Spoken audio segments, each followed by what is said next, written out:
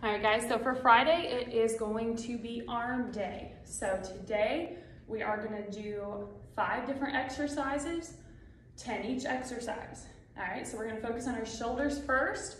You can grab two dumbbells or remember, grab anything that weighs the same. We're going straight up, straight down, straight up, straight down.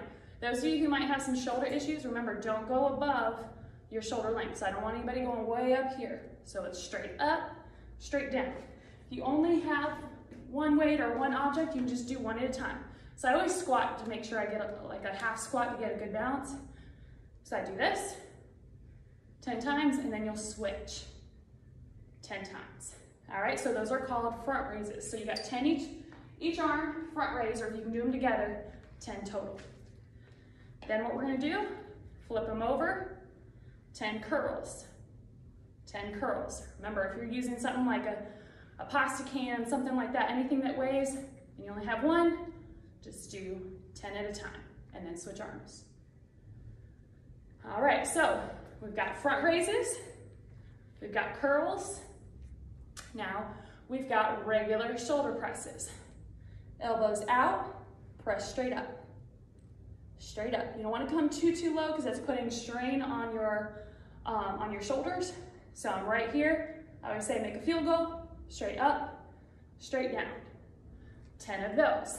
Next thing we've got are called shoulder flags. So again, you're gonna squat down a little bit. Now I'm gonna tilt my hips to where my chest is facing the ground. I'm gonna have the weights hanging right here in front of me, squeezing my shoulder blades together.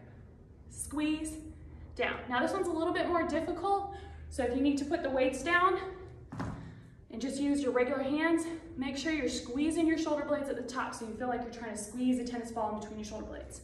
So this is how it looks from the side. I wanna make sure that nobody's knees are going over the toes. So you tilt your hips back, right here, squeeze at the top, back down, back down. All right, those are called shoulder flies. So You've got 10 of the front raises, 10 curls, 10 shoulder presses, and 10 flies. Last thing that we're gonna finish off with are, we're gonna go 45 degree angle shoulders. So out. Just I have them sitting right here on my, on my legs, go straight out. 10 of those. So you're doing this circuit just like yesterday, four times through.